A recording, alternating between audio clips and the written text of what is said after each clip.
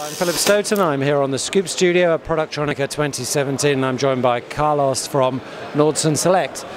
Let's just clarify for people that, that have missed it exactly how Nordson Select came came came came about. It was it was two acquisitions around about the same time. Correct. Beginning of the year, a company by the name Ace Production Technologies, and then a company by the name of Interselect, uh, based in in Germany. Ace Production Technologies being based in the state of Washington in the United States.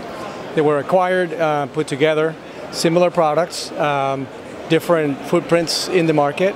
So one of them, Interselect, more, more of a European footprint um, and a little bit of Asia, whereas uh, uh, I'm sorry, um, Ace Production Technologies, uh, mostly US and Mexico, and a little bit of Asia as well.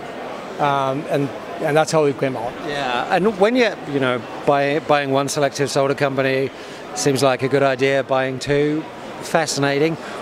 What was it about the two companies that allowed them to come together into into one group simultaneously, and for it to be a two purchases and two integrations in one go? Well, it made it really difficult to, to do the integration. I mean, frankly, um, it added to my job. Yeah. At the same time, each company brings a set of features on their products and a set of cultures that are complementary. Um, so as a result, as we integrate the products and we adopt one of each's uh, features, uh, I think we're coming up with a stronger offering that we'll be able to to do uh, to gain more market share and yeah. to grow the business more more yeah. quickly. Absolutely. It was clear, particularly in the US, that the um, the ACE product was was really gaining some momentum. So timing was good there. So complementary technologies, complementary geographies, hopefully complementary cultures as well. What does that mean in terms of products that you're bringing to the market, and particularly here in Germany?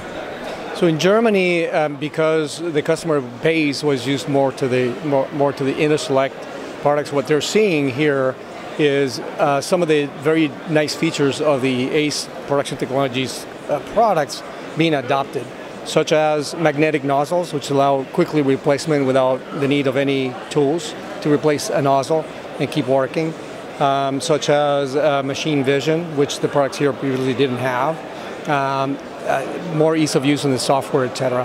And we're seeing some some of the features of the Interselect machines also migrate to the to the um, Ace Production Technology machines. So, as I said, um, better set of features, um, very competitive uh, prices and feature set.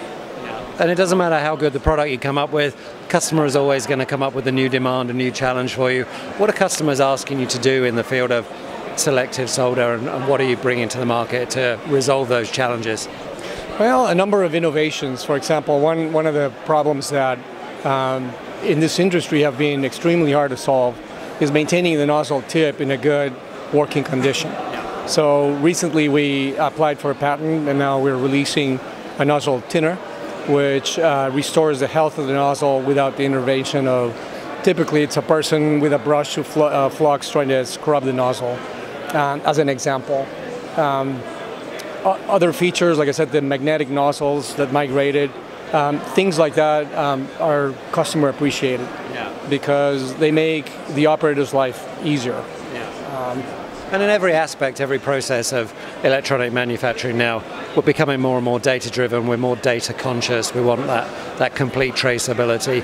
Is that something we can, we can expect in the selective solder area as well? Absolutely. And we have already uh, uh, information management systems that allow us to communicate with the factory automation system and um, you can program the parameters that you want captured and delivered to the to the information system so you can keep track of production.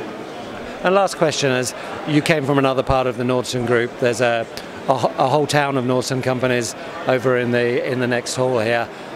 How do the companies work together to, to achieve best practices, to use that domain expertise alongside the group to achieve better results for customers? So the, the well, in a number of ways. One, one is the previous smaller companies really didn't have access to the better distributors that now, because they carry other Nordson products, we have access to. And that gives us um, the ability to work with just a different caliber of organizations. Um, the other thing is that um, the previous companies have a hard, had a hard time accessing the larger customers, like a, uh, you know in the automotive world would be a Bosch or a Denso and so on. Well, it turns out that Asymtek and Dage and all the other Nordson products already have a footprint there. So it gives us direct access in two ways, via the distributors and via the, the, the other people that are part of the Nordson team that, that, um, that um, already have access. Uh, but more importantly for the customer is the peace of mind of knowing that there's um, a large group supporting them and then um, the pressure that, quite frankly, I get as a, as a business from other parts of Nordson saying, you know, if you go into this customer, you're better serve him right because he's my customer too, right?